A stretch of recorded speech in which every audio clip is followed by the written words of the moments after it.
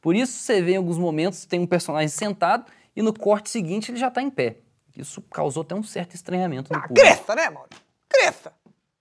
Tá dizendo agora que você acha que porque tem uma cena que o ator tá sentado depois ele tá em pé, alguém vai achar estranho e vai sair da sala de cinema? Pelo amor de Deus. É, não tem mais palavra que resolva, não. Posso participar da curiosidade aqui, então? Vai, participa. Você sabia, amigo que está em casa, que a Cidade de Deus fica em Jacarepaguá? Sabia, Rogerinho? Por muito pouco, esse filme não se chamou Jacarepaguá.